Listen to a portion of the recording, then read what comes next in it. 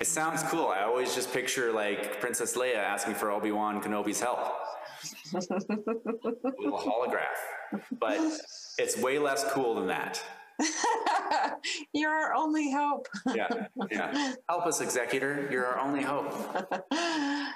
Uh, a holographic will is the term that we use for a will where a person makes a will all in their own handwriting. Nobody else is writing on it.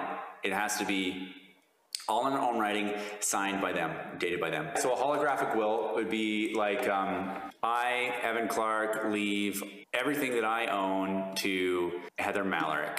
April 29th, 2021, signed Evan Clarke. That would be a legally binding terrible idea by myself. My wife would not be happy. No. Uh, but she would, would probably not be your executor.